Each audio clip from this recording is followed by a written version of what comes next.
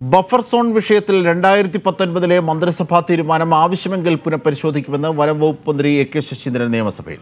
ജലജീവൻ പദ്ധതി രണ്ടായിരത്തി ഇരുപത്തിയഞ്ചിനുള്ളിൽ പൂർത്തിയാക്കുമെന്ന് മന്ത്രി റോഷി അഗസ്റ്റിനും നിയമസഭയിൽ അറിയിച്ചു. വാട്ടർ അതോറിറ്റിക്ക് പിരിഞ്ഞു കിട്ടാനുള്ള കുടിശ്ശിക ആയിരത്തി ഒരുന്നൂറ്റി മുപ്പത്തി മൂന്ന് കോടി രൂപ കടന്നെന്നും മന്ത്രി നിയമസഭയെ അറിയിച്ചു.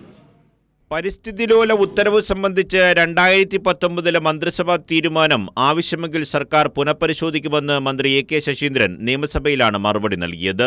നിലവിലുള്ള ഇക്കോ സെൻസിറ്റീവ് സോൺ നിർദ്ദേശങ്ങൾ സിക്ക് കൂടി സമർപ്പിക്കാൻ തീരുമാനിച്ചിട്ടുണ്ട്.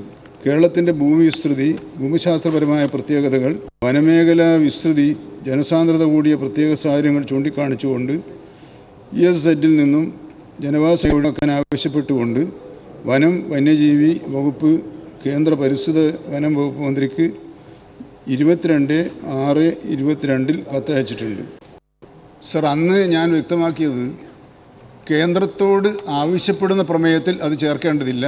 നമ്മൾ ചെയ്യേണ്ട കാര്യമാണ് അതിന്റെ സാധ്യത പരിശോധിക്കുന്നതാണ്. അത് പരിശോധിക്കാൻ തീരുമാനിച്ചിട്ടുണ്ട്.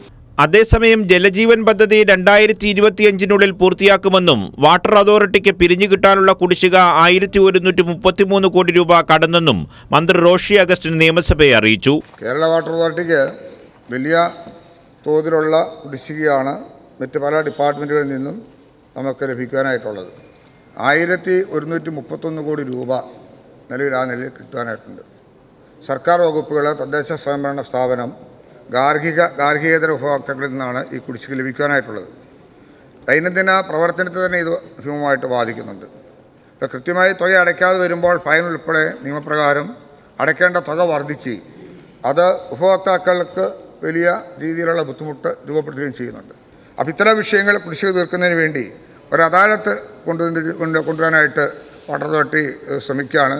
അത് വലിയ തോതിലുള്ള ഗുണം സാധാരണക്കാർക്ക് ലഭിക്കും.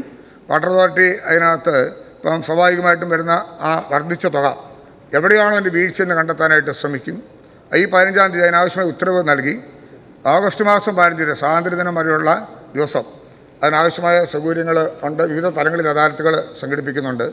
ഏകദേശം അൻപത് ശതമാനത്തിനടുത്തോളം ഇളവുകൾ സ്വാഭാവികമായും കിട്ടത്തക്ക നിലയിലാണ് ഞങ്ങൾ ചില കാര്യങ്ങളെടുത്ത് പരിശോധിച്ചപ്പോൾ കാണുവാനായിട്ട് സാധിച്ചത്. ജലജീവൻ പദ്ധതിയുടെ ഭാഗമായി റോഡുകൾ കുത്തിപ്പൊളിക്കുകയാണെന്ന ആശങ്ക തിരുവഞ്ചൂർ രാധാകൃഷ്ണൻ എം എൽ എയും ജലജീവൻ പദ്ധതിയുടെ വിഹിതം നൽകാൻ തദ്ദേശ സ്ഥാപനങ്ങളുടെ കൈവശം ഫണ്ടില്ലെന്ന് വി ഡി സതീശനും സഭയിൽ ഉന്നയിച്ചു. വിഷയം പരിശോധിക്കുമെന്ന് റോഷി അഗസ്റ്റൻ മറുപടി നൽകി. കൈരളി ന്യൂസ് തിരുവനന്തപുരം.